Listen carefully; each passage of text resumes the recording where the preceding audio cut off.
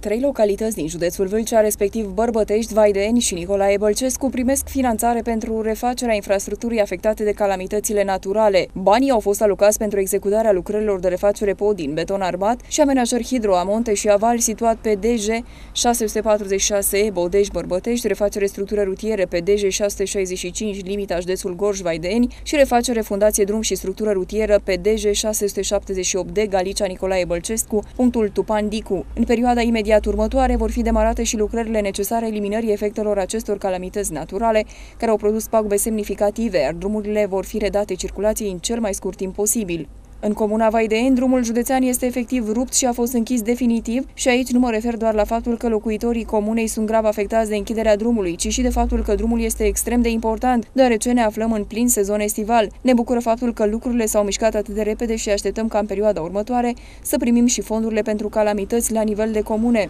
a declarat Daniela Chimbăluță, primarul comunei Vaideeni, județul Vâlcea. Mai avem situații grave și pe alte drumuri județene, pentru care aștept în continuare să primim fondurile pentru calamități. Este o veste bună bună că au venit banii pentru comunele Vaideni, Bărbătești și Nicolae Bălcescu, iar principala noastră preocupare este să vedem cât mai repede drumurile redate circulației. Am toată încrederea că cei de la Administrația Națională a Apelele Române vor interveni în condițiile legii, simultan pe albia râurilor pentru a le oferi vâlcenilor siguranță și bune condiții de trafic pe drumurile județene, iar efectele acestor calamități să fie cât mai reduse, a mai spus Constantin Rădulescu, președintele Consiliului Județean Vâlcea.